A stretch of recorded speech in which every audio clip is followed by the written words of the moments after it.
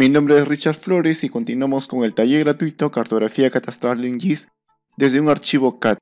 Hoy día hablaremos sobre la resolución número 5 2010 SNCP que aprueba la directiva número 2 2010 SNCP/ST.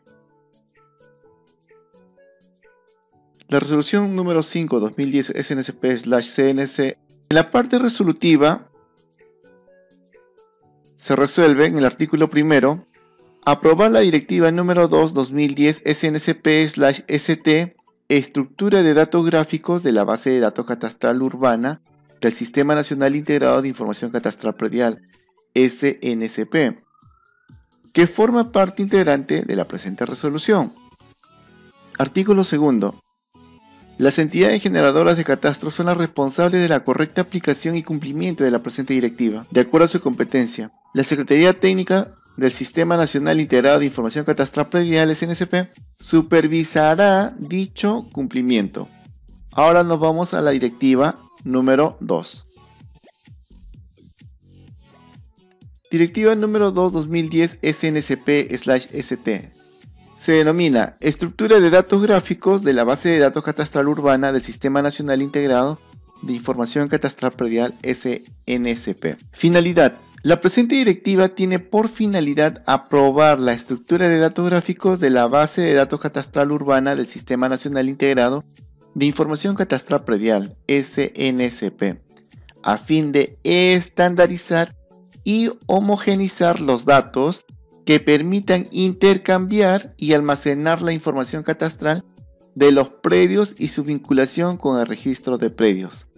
Es decir, el catastro de Lima tiene que ser igual al catastro que, hay, que está en Ucayali, igual que el catastro que existe en Huánuco o el catastro que existe en Tacna. Todos tienen que tener la misma estructura. El alcance. La presente directiva es de aplicación obligatoria para todas las entidades generadoras de catastro. Esta directiva contiene dos anexos. El primer anexo es sobre el modelo catastral urbano y su diccionario de datos. Y el segundo, el segundo anexo es el modelo entidad-relación de la estructura de datos gráficos de la base de datos catastral urbana. En esta ocasión nosotros vamos a hablar sobre el anexo número 1, modelo catastral urbano. Y vamos a responsabilidad. Nos dice, las entidades generadoras de catastro son responsables de la correcta aplicación y cumplimiento de la presente directiva de acuerdo a su competencia. La Secretaría Técnica del Sistema Nacional Integrado de Información Catastral Predial, SNCP, supervisará dicho cumplimiento. Dicho esto, pasamos al anexo número 1 sobre modelo catastral urbano. Tenemos los datos a incluir en el modelo, tenemos los sectores, su descripción delimita un conjunto de manzanas urbanas y el tipo de representación vectorial es un polígono. Tenemos la capa de estructuras urbanas. Marca las divisiones de los asentamientos urbanos, habilitaciones urbanas, etc. Su tipo de geometría es polígono. Igual, las manzanas encierran un conjunto de lotes y su geometría es un polígono. El lote define el derecho de propiedad urbana, también es polígono, la capa construcciones delimita el consolidado de la edificación, polígono. Los parques delimita el contorno del lote destinado para uso de parque y el tipo de geometría es polígono. El comercio delimita el área destinada al uso comercial, también es polígono.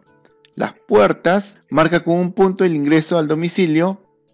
Su representación vectorial es un punto. Y el eje de la vía marca el recorrido del eje de la vía, que es una línea. Y esto todavía continúa.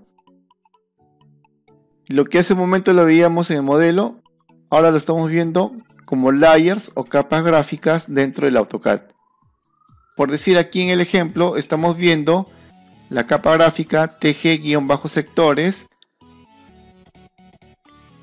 y tenemos, por decir, la polilínea cerrada en estos tres, en estos tres sectores y tenemos sus respectivos textos de cada uno. Estos dos elementos están contenidos en el layer TG sectores. Entonces ahora vamos a abrir el plano y esto es lo que les explicaba. nosotros tenemos tanto la polilínea como el texto en la capa sectores. Y si nos damos cuenta acá, tenemos un texto y tenemos una polilínea. Si tenemos acá tres sectores, significa que tenemos tres polilíneas y tres textos. Bien, entonces ahora vamos a encender la capa manzana.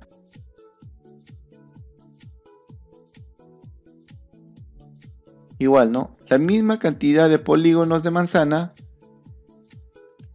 Tenemos 223 polilíneas y tenemos en texto 223.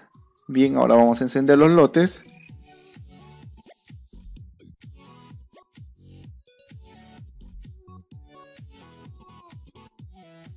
Listo, entonces vamos a seleccionar esta parte de lotes. Vamos a visualizar cuánto tenemos. Tenemos 2987 polilíneas y también tenemos 2987 textos. Ahora vamos a visualizar las vías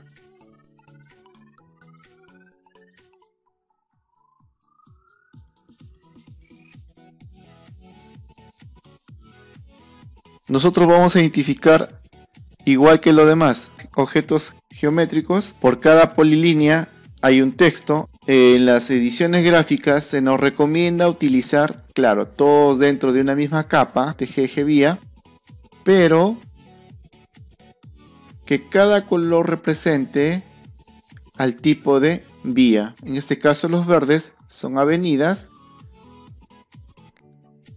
los plomos son pasajes y los azules son calles. Entonces para que en una, en una parte visual nos ayuden a identificar todas nuestras vías. Entonces vamos a sacar, por decir en esta parte de arriba, cuántas polilíneas tenemos. Tenemos 75 polilíneas y tenemos 75 textos. Y acá abajo tiene que haber la misma cantidad tenemos 102 polilíneas y dos líneas, querían 104, 104 líneas y polilíneas, y hay 104 textos.